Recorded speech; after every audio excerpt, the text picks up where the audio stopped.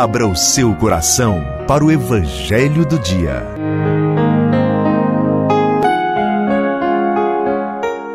Queridos irmãos, queridas irmãs, nós vamos agora à proclamação do Evangelho. O Evangelho de hoje, extraído de Marcos capítulo 8, versículos 11 a 13, é um evangelho bem curtinho, mas que tem uma mensagem muito forte, muito importante para nós. Acompanhe com fé. O Senhor esteja convosco. Proclamação do Evangelho de Jesus Cristo segundo Marcos. Naquele tempo, os fariseus vieram e começaram a discutir com Jesus. E para pô-lo à prova, pediam-lhe um sinal do céu. Mas Jesus deu um suspiro profundo e disse: Por que essa gente pede um sinal? Em verdade vos digo: a esta gente não será dado nenhum sinal. E deixando-os, Jesus entrou de novo na barca e se dirigiu para a outra margem. Palavra da salvação. Prezados irmãos e irmãs, esse texto que nós acabamos de proclamar, Marcos capítulo 8, vem nos mostrar uma atitude de Jesus, no mínimo, inusitada esse Jesus que acolhia a todos, esse Jesus que ia até a presença das pessoas, esse Jesus que, quando alguém o procurava, recebia com amor, com carinho e com respeito.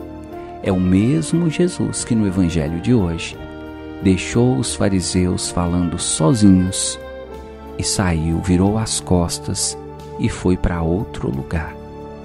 E aí nós podemos perceber: será que Jesus quando agiu assim, ele cometeu algum gesto de indelicadeza com os fariseus? Não. Será que Jesus, quando agiu assim, cometeu algum pecado? Não. Então aqui vem a primeira mensagem para você. Não querer ficar perto de pessoas que não agregam na sua vida. Não querer ficar na presença de gente que quando se encontra com você só sabe fazer fofoca, falar mal dos outros, conversas bobas, conversas fúteis, que talvez isso até te cause desgosto, mal-estar, não querer ficar ali não é errado, não é pecado, é um direito seu.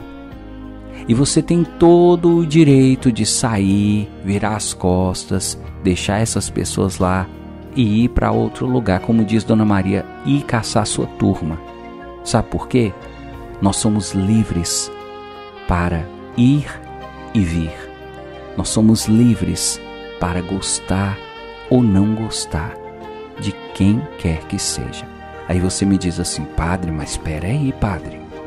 A Bíblia não fala que a gente tem que amar o próximo?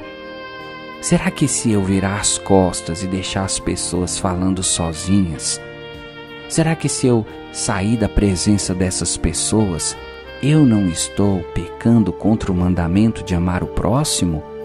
Será que ao fazer isso eu não estou deixando de amar o próximo? Te respondo: claro que não.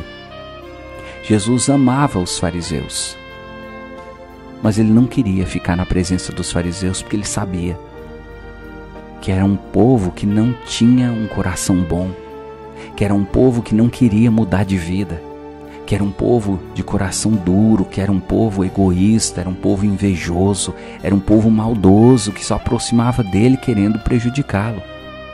Então Jesus tinha todo o direito de não querer ficar ali, embora ele amasse os fariseus. Aí você pode dizer, mas eu não estou entendendo não, padre, ué. Se ele ama os fariseus, então ele tinha que aceitar ficar lá.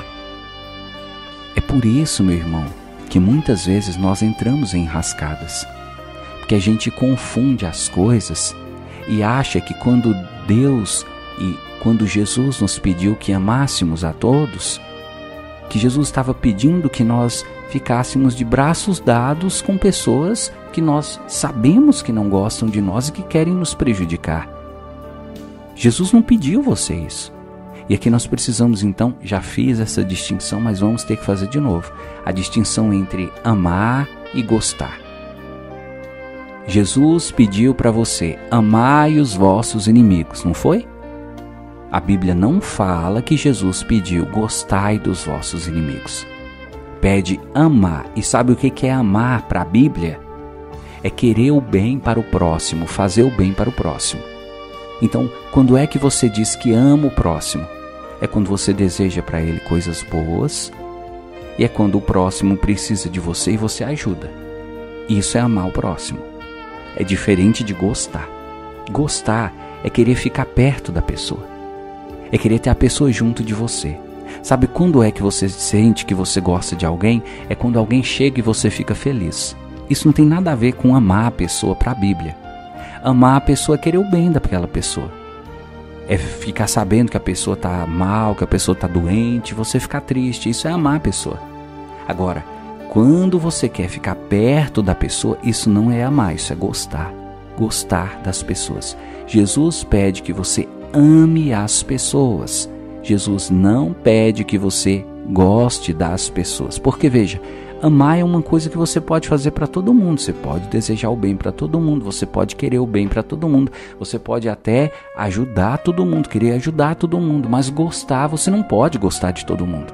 Primeiro, porque você não controla. Gostar, meu irmão, minha irmã, é uma coisa que foge do nosso controle. Tem gente que a gente gosta, tem gente que a gente não gosta. E não tem como se mudar isso. Aí eu vou me esforçar agora, padre. Eu vou rezar todo dia, sabe, padre? Para eu poder gostar daquela minha cunhada. Porque aquela minha cunhada, padre, fala tão mal de mim. Nossa, eu já fiquei sabendo que ela. já Eu, eu acho até que ela já fez macumba para mim, padre. Eu quero gostar dela. Deixa eu te falar. Você não vai gostar dela. Você não vai conseguir gostar dela. Porque a gente só gosta de quem faz o bem pra gente. Se uma pessoa faz um mal para você, não tem como você gostar dela. Se uma pessoa só vive querendo puxar seu tapete, não tem como você gostar dela. Aí eu digo para você, Jesus amava os fariseus, mas Jesus não gostava dos fariseus. Sabe por quê? Porque os fariseus só queriam o mal. Porque os fariseus ouviam a palavra dele e ao invés de abrir o coração e de aceitar o Evangelho, ficavam procurando alguma estratégia para prejudicar Jesus. Então, Jesus tinha motivo para gostar deles? Não, mas Jesus continuava amando. Então, a dica para você é: essas pessoas que te prejudicam, essas pessoas que falam mal de você, essas pessoas que de alguma maneira passaram pela sua vida e deixaram feridas, mágoas, prejuízo para você, você deve amar. Isso aí não podemos negar. Você deve amar essas pessoas. Não pode ficar torcendo contra, não pode ficar desejando que o mal aconteça. E se essas pessoas adoecerem, se essas pessoas tiverem um acidente, se essas pessoas passarem por algo ruim, você não pode ficar feliz. Pelo contrário, você deve sentir aquela compaixão e até se dispor a ajudar. Isso é amar. Agora, você não precisa estar tá querendo que essa pessoa vá na sua casa toda semana para almoçar com você. Você não precisa marcar com essa pessoa para poder sair de noite no final de semana com essa pessoa, ir para o churrasco com essa pessoa e para a igreja com essa pessoa. Você passa aqui em casa que eu vou com você. Isso é gostar. Gostar, você só gosta de quem faz o bem para você. Tá entendendo? Então, em relação a essas pessoas, se você sentiu que elas não fazem bem para você, se você sentiu que essas pessoas não agregam na sua vida, são pessoas que todas as vezes que você senta para conversar com elas é só bobagem, só coisas fúteis que não acrescentam na sua vida. Faça como Jesus. Levanta, vai embora, vai caçar sua turma. Não fique junto desse povo que você sabe que não vai trazer nada de bom para você. O padre, mas eu ainda fico incomodado. Será que se eu fizer isso eu não vou estar tá pecando? Não vai estar tá pecando. Lembra de Jesus, ele não fez isso com os fariseus? Não deixou os fariseus conversando sozinho e foi para outra margem do, do lago do mar da Galileia? Então, você também, quando vê que as pessoas que estão ali não gostam de você, é gente que você sabe que não faz bem para você, levanta e sai. Não precisa brigar, não precisa bater boca, não precisa ficar lá para a pessoa, eu tô saindo porque eu não gosto de você. Levanta e sai. Vai procurar outras pessoas que tenham uma conversa mais agradável, que sejam pessoas mais parecidas com aquilo que você acredita, que você crê. Como diz Dona Maria, vai caçar a sua turma, porque você não é obrigado a ficar no meio de gente que você sente que não faz bem para você. Louvado seja nosso Senhor Jesus Cristo.